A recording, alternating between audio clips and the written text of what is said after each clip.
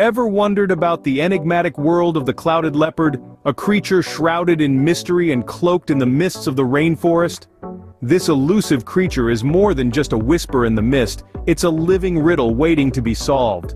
The clouded leopard's domain is the lush sprawling rainforests of Southeast Asia, a world teeming with life and secrets. This feline's strikingly unusual physical features set it apart from the rest. Sporting a coat peppered with large, cloud-like spots and an extraordinarily long tail for balance, the clouded leopard is a marvel of nature. But what truly makes this creature a subject of fascination is its elusive nature.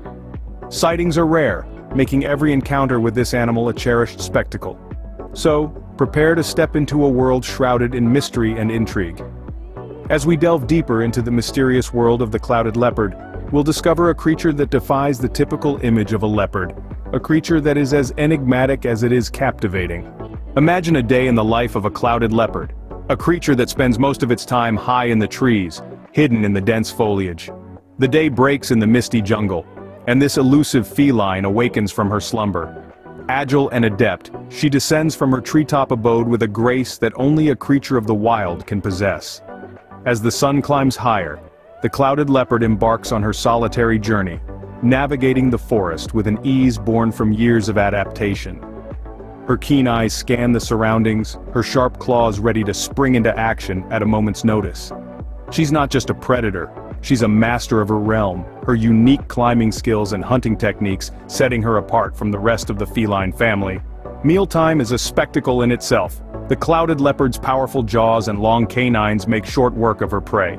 She dines alone, for she is a solitary creature, her interactions with others of her kind limited to the necessities of survival. As dusk envelops the forest, the clouded leopard returns to the safety of the treetops. Her day of survival and solitude comes to an end.